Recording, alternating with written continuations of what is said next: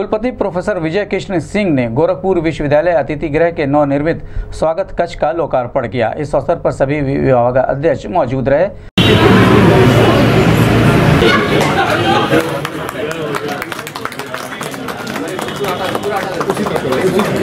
sir नहीं ये lock की नकल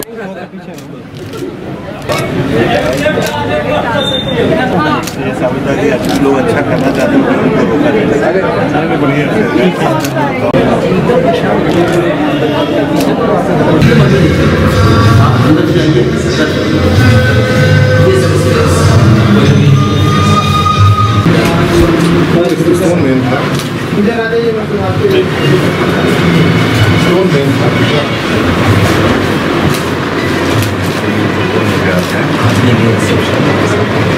आने